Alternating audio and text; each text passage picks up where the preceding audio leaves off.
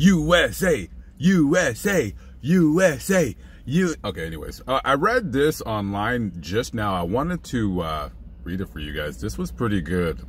Uh, Illinois City becomes first in U.S. to pay reparations to black families. Okay, this city in Illinois, Evanston. Uh, Evanston is initiating a program that will give 16 black families in Evanston $25,000 each in funds to use for the purpose of buying or improving homes, as well as mortgage assistance. Uh, the Evanston City Council voted money to adopt a resolution that will allow it to become the first city in the United States to implement a program to fund reparations for its black residents, approving plans to budget $400,000 for the program. It passed 8 to 1. Okay, so um, they're giving money to people that are black for reparations for something that they were not a part of. Neither were their parents or their grandparents or their great grandparents. Quote, I think this is a step is going to pull all of America forward. Um, no, no, no, no. This step does not pull all of America forward. No, no. This step actually doesn't even pull the people that you're giving the money to forward. No, no. You know, it's that old saying, uh, you don't give fish to a hungry man, you teach him how to fish. So when you give people free shit, it does not uplift them. It does not pull them forward. It does not push them in the right direction. All it shows them is that with being fucking lazy and not doing anything with your life, that you can get free shit and it's okay. It's okay to have your hand out and say, I'm black, give me free shit, honky. That's all it says. It all it does is make black people look weak. It's all it does. You know what every race in the country, much less the world, but let's just keep it in America. Every race in the country, you know what they do when they need to upgrade their roof, right? And I guess your roof doesn't last forever because we we all know mine not doesn't. You know what they do? They pay for it. Yeah, they pay for the roof. Uh, personally, I think home ownership is a fucking scam in a lot of instances, but whatever. If you want to paint your home, you pay for it. You don't ask the government to paint your home for you. It's not the government's responsibility to paint your home. It's not their responsibility to do your gardening, uh, to build a fence, uh, to fix your broken windows. It's not their responsibility. It's yours. It's your responsibility to do. You got to do it yourself. You can't expect the government to do it for you.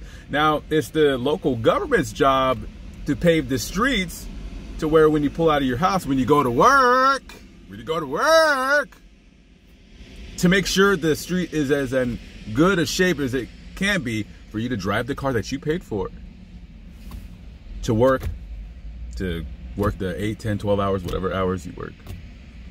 That's their job, not to take care of your personal property. So, well, gee, I wonder where they got this money from. Where did they get the money from, the $400,000 as a pilot program to give to uh, 25, uh, 16 black families uh, $25,000 each? Where did they get it from, guys? Guess what? Guess where they got it from? Well, I'll tell you where they got it from. Uh, taxes from uh, marijuana, legal marijuana. Isn't that kind of an oxymoron? You're taking tax money from pot smoking losers to go to other losers who don't want to work because they smoke pot. That's the way I see it. At the end of the day, no reparations. Nobody was a slave. Now, I do feel that when slavery ended, when they were supposed to get 40 acres and a mule, I think that every black person or family in the nation should have got the 40 acres and a mule. Unfortunately, that didn't happen, and that's it. You're not a slave. Nobody's a slave. Nobody forces you to do whatever you want. When you go out in the streets and loot and riot and you're protesting over somebody that got killed by the police because they can't follow instructions and their their IQ is so low that they can't be a productive member of society and you know you're breaking into stores and quote taking back what's ours last time i checked uh, those those air jordans the, the, you're not owed those air jordans Last time I checked, uh, you were not owed a uh, 65 inch flat screen television. Yeah, taking back what's ours. Okay, so so that Xbox was yours, right? That Xbox was yours. Okay.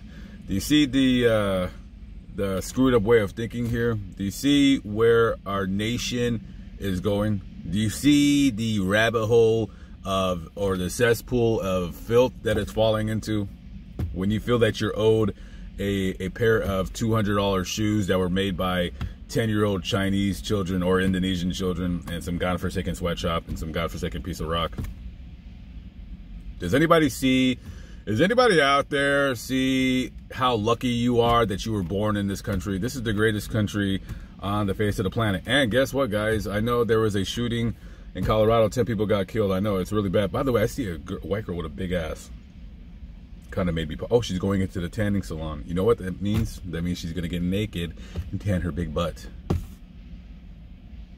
I wonder if they have cameras in there. Eh, I don't know. Maybe the pervert in me. Oh, that's not the greatest country in the world. Why is it only people in little shitty, tiny European countries that have less than 10 million people? They're the only ones that say that. No, it is not the best country. Shut the fuck up, fucking uh, Deutschboig. Okay, keep your fucking ass in your fucking Luxembourg fucking shithole with your fucking uh, enclave of fucking Muslims coming in, fucking uh, fucking you guys up. Okay. Wasn't there a what? What country was it where they? what country was it where they had a bunch of Muslim refugees coming in, and all of a sudden now uh, you can't. You, they they had to they had to divide the pool where men can't swim with women. Do you see what happens? Do you see what happens when you bring in a culture of people that is not willing to assimilate, but you're so stupid, you you you you just want to let them come in anyways? Do you see do you see the hypocrisy, guys? Do you see the dumb shit? Do you see the nonsense? Hey, you guys don't care.